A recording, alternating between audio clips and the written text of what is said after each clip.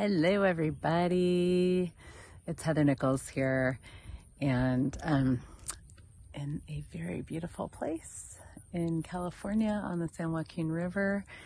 Um, and I wanted to talk about creation and money.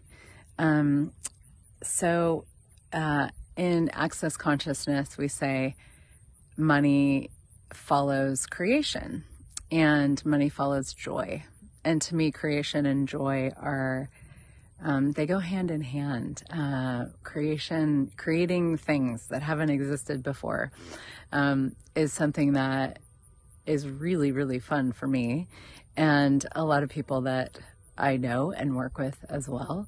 Um, you know, people that tend to be the seekers of the world, people that are, you know, looking for something more, something greater, curious about what else is possible, um, tend to be um, people that like to create and um, discover new things and bring new things to life.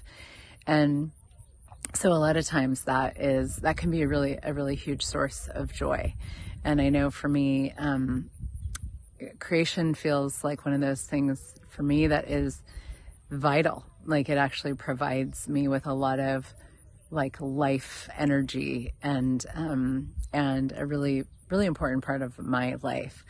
And we all have these, you know, kind of ebbs and flows with what we're creating and how we're creating and when we're creating and how much we're creating. Um, and a lot of times I have found that um, when I'm creating a lot, you know, I've I've seen this in my own life that oh, money f- tends to follow that. You know, um, big periods of massive creation tend to yield. Um, well, they they just sort of create this energy in my world, this like generative energy, where where money follows, and it's not a linear thing. It's not. Um, something that can be like traced directly to you know but it's the sense of like when I'm really in the flow, I'm really in my in my like creative zone, you know. Um, money tends to show up, and um, and then also when I have had periods where, you know, maybe a lot has changed for me, and I kind of kind of don't know how to create at the moment, like because because the way we create changes, and the the energies that are available for creation shift and flow and change and ebb. And um, and sometimes we have those really quiet periods where you know it sort of feels like I don't really know what to create or how to create or you know yeah just everything kind of like the the basis of all of it just changes and I've found in those moments that um, there has been that sense of like money it, you know sort of ebbing with creation when creation ebbs money has ebbed as well. And it's something I've looked at for a long time and wondered, you know, what's, I mean, and I think it's like having ebbs and flows of money is not, uh, it's not a problem if you're, if you're creating, if you're being smart with your money and you're creating, um, you know, reserves and, and if you have, if you have, if you're also having and like more than enough money flow that in those times of the ebbing of money, um, you know, you're okay. Like you've got you've got money. You know, you have it, so you can you can use that when it's you know ebbing, or maybe it ebbs, but the flow is still enough that you know it's fine. And that's that's kind of a real great place to be, where there's so much wealth and profit actually in your world that you know if there is an ebb of the money flows um, there's still profit. And that's something that you can just be asking for. Um, asking for profit is an amazing uh, thing because if you're asking for money, money might might show up, and you're desiring to create money. It it it you know will probably show up, but um, it's really when you get into profitability that um, it changes everything, and it starts to feel more like you're creating more of a future with money, and there's more of a sense of wealth in your world. Um, tractors. um, so, so how do you how do you work with this whole thing of the ebb and flow of creation and the ebb and flow of money? Well, the the the I want to talk a little bit more here about the ebb and flow of creation, and we'll you know, I can talk in future videos about profitability and the ebb and flow of that. But um, one of the things that I've noticed for myself is that when creation ebbs and flows, uh, a lot of times it's um, because I, it, you know, there's things that just change and then it takes a moment to reorganize around how I'm creating and what I'm creating. But there's also moments where I've kind of burned myself out so much that my body and my world needs, like, I need a break.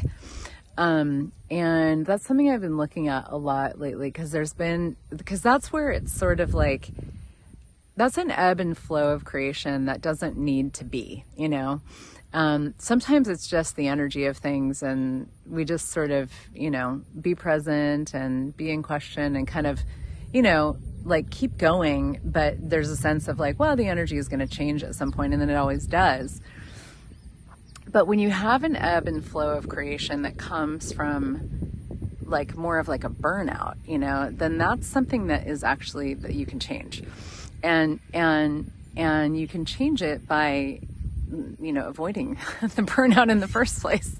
Um, so making sure that you're weaving into your every single day time to care for you and your body, space away from your business, um, time away from your business, from you know your creative, um, like your creative endeavors. And the thing is, is that you know creation is a very nourishing activity, and a lot of times when you're a seeker and you're like more, more, more, more, more, um, that can kind of tip into this more kind of place of where we get kind of like activated in our in our nervous system and more kind of like into that kind of stress zone and things become a little more frenetic.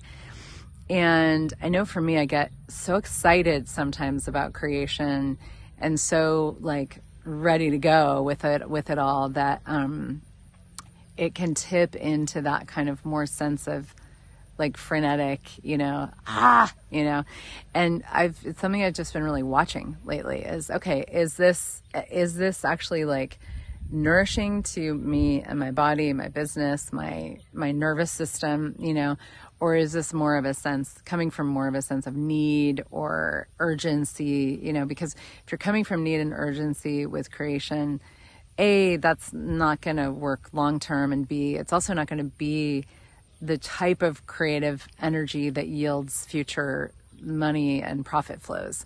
Um, that's more of a there's there's kind of an there's a lot of underlying points of view underneath it that are more about you know need and lack and you know and we always say you know your point of view creates your reality so a lot of times there's these underlying points of view underneath that you know what we would call like creative juice um, that isn't really creative juice it's more um, you know these points of view that are destructive to our futures and our money flows and our creative world. Um, and it requires just getting present, you know, getting really present and noticing, okay, so, you know, how am I going to work with this? Like, how, like, what is this, you know? And, and am I in frenetic? Am I in frantic? Am I in need? And the point of view of like, oh, I'm going to have lack in the future and I need to avoid that because if that's where you're functioning from, that's actually what's going to show up as the lack in the future because you're projecting that onto your future and you don't even know it. Um, but if you get into a more of a state of relaxation and ease and flow, which involves, you know, giving yourself the gift every day of doing beautiful, nurturing things for you and your body, um, like putting yourself in nurturing environments like this. I love this place. It's just so, so nurturing for me and my body. Um, and you know, this is a, a, flight away from where I live, but, um, but you know, there's, there's, there's places, you know, you can find trees, you know, in most places. Um, and, uh, you know, some sort of nature, if that's nurturing for you or whatever it may be. You know, it might be just like a beautiful environment, you know, an architectural environment or something like that.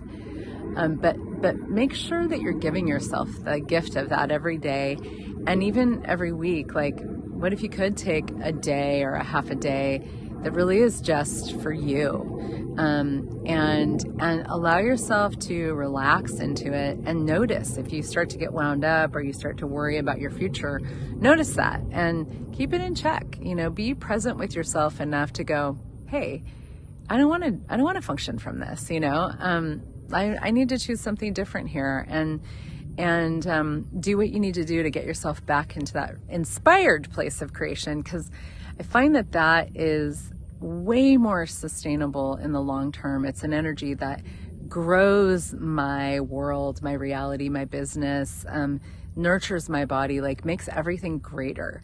And that is a space of creation that is not just sustainable but um, that exponentializes itself. And also um, you know as a result the money flows that and the, the flows of profit that come from there tend to also be way more fluid and consistent and um, just with that sense of like growing over time instead of plummeting you know when we get burned out and then the juice dries up and so does the flow of money and profit so hopefully this was a um, contribution to you. And these are also things that I talk a lot more about in on my podcast, the entrepreneurial biome. Um, and that's where we're, you know, the kind of like subtitle of the podcast is nurturing the ecosystem of business, body, and living, and really looking at, um, really looking at the um, you know the the how this whole thing is an ecosystem that feeds like the health of one aspect feeds the health of all the other aspects. So there's a lot there on my podcast. If you're watching this on youtube there's a playlist here um, and there's also my website heathernichols.com slash podcast um, where you can catch episodes where i dive a lot more into this so I hope that was a contribution to you. Thank you so much. And um, if you enjoyed this, you know, like, comment, subscribe, all the things, share. Um, I'd love to see a world with where creators and entrepreneurs are really like happy with their bodies and their universe and their business world and creating dynamically and um, and receiving a lot of profit as a result of it. So, thanks for being here, and I'll catch you next time.